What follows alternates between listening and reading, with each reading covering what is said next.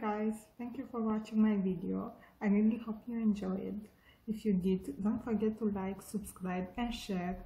See you on the next video. Have a great day.